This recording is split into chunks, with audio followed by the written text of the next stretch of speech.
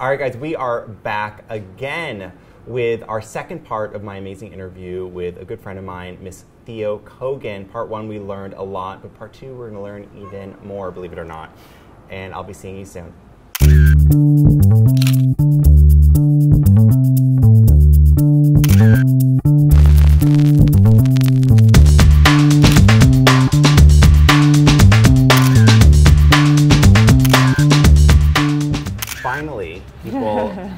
Recognized your beauty underneath really the drag that you were wearing. Mm-hmm. How did that happen?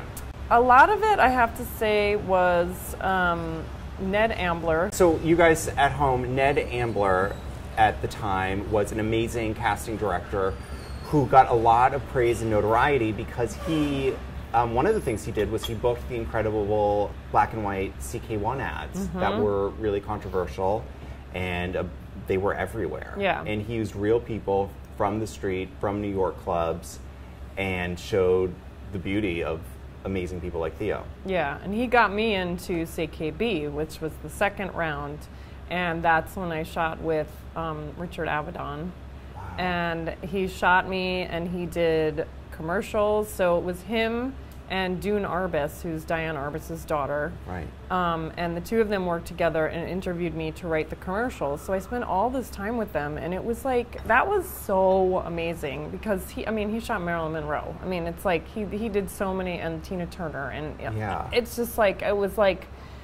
And I had already worked with some other very big photographers that were much younger than him, and he was the coolest. And I feel like that's something sort of I learned the more I worked in the fashion industry is the people who are like established and not worried about and their career or, or insecure that were the ones that were like the best to work with.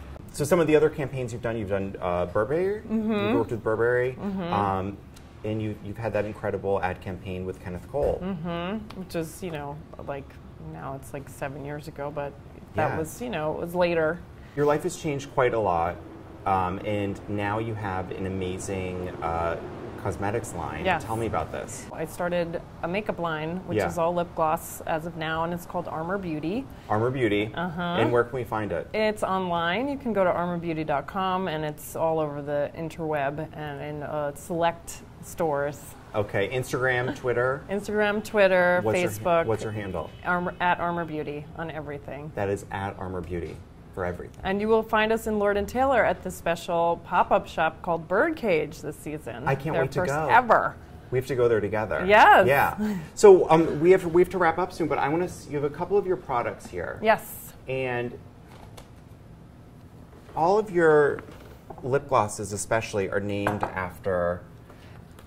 Songs, bands, um, classic pop icons. You know, women that inspire me. Yeah. So right here we have inspire me. Divine. Yes, after the drag queen Divine. So this is the color Divine after John Waters' uh, muse Divine herself. Mm-hmm. Um, some of your other great colors. Oh, you also have um, a vegan line. Yes, so now. we just this year I launched a vegan line called Armour V.